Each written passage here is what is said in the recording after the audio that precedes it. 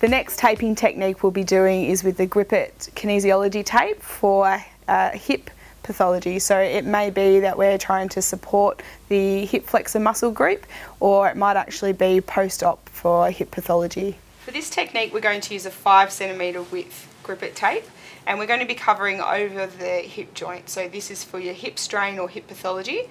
So we'll need to just make sure that the alignment of the tape is over the anterior part of the hip joint and coming down midway along the thigh. So you'll just need to measure the length of that area. Cut your tape and then round the corners so it's ready to apply.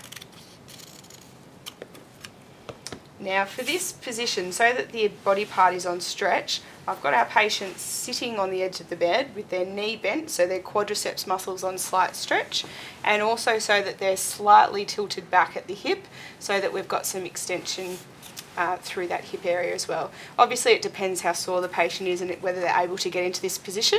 If they're going really well you might actually be able to have them into more stretch and hanging off the edge of the bed but for the purpose of today I'll have them in sitting. So you'll need to take the first 5 centimetres of tape to place onto the skin. Make sure that the direction of the tape is heading towards the hip joint and that you allow enough to actually be able to stretch up to the lower part of the abdomen. So for this one, so that you can ensure that the patient can remain clothed, especially if you're on a sporting field or in a public area, you can actually ask the patient to assist you with uh, applying the tape. So you'll just need to fold the backing paper over so that there's something for the patient to grip onto.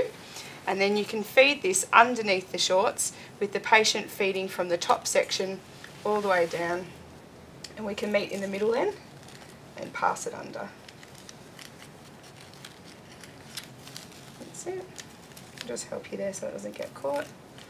That's it. So once it's through, the clinician can then take over.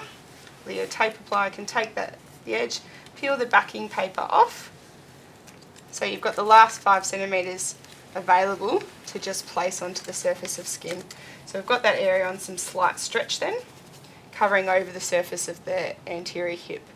Now, if you're wanting to give a little bit more compression or there's a particular area of pain, you can then do a strip across over that as well.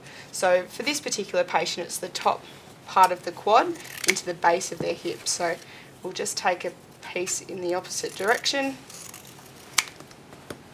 trim the edges, fold the tape in half so that your hands are free to peel the backing paper off evenly from the back. And then we're finding the area of most tenderness which for this particular patient is right here. So applying that firm pressure and stretch over the actual area of soreness and then placing down each end of the tape. And just giving it a good rub to ensure that the glue activates and sticks. And there you have, taping over the anterior hip.